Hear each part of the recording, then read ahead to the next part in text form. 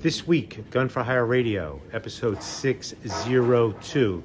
The Marxists continue to march on in Trenton, trampling our civil rights, our constitutional rights, our God given rights, paying no mind to the Bruen decision, paying no mind to the losses that are mounting in New York State in the Second Circuit. They want to do the same to us. You want to know why? Because the mask is pulled back. They hate us, we, the law abiding, tax paying citizens. Let's not call them Democrats. Let's not call them Marxists anymore. Let's call them what they are. They are communists, and they constantly try to take our rights away and give it to criminals. Fact.